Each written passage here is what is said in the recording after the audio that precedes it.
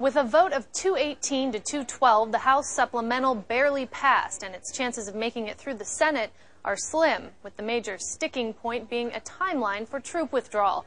Many lawmakers are now worried the troops won't get the funds they need in time. H.R. 1591, an act making emergency supplemental appropriations for the fiscal The Senate ending began debate on a piece of legislation that would Without provide objection, so ordered. $122 billion to fund the wars in Iraq and Afghanistan.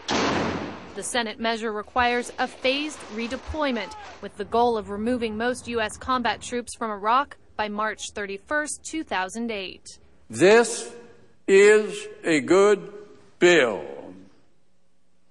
And I urge prompt action on this legislation. President Bush has vowed to veto any legislation that includes a timeline for withdrawal. The Senate voted last week on a similar bill that also included a withdrawal timeline. That legislation was defeated 50 to 48. The Senate has spoken on this issue.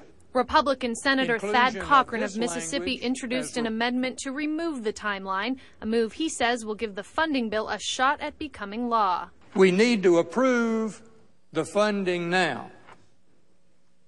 Unnecessarily expending this debate is not going to serve the national interest.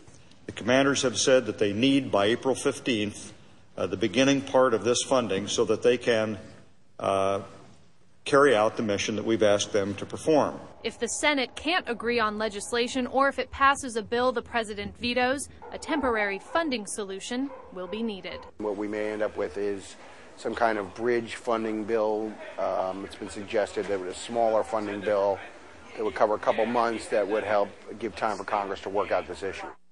Senate Republicans also take issue with the amount of pork attached to this bill, so many votes are expected on the makeup of this legislation before that final vote. Reporting for Politico.com, Nicole Collins, News Channel 8.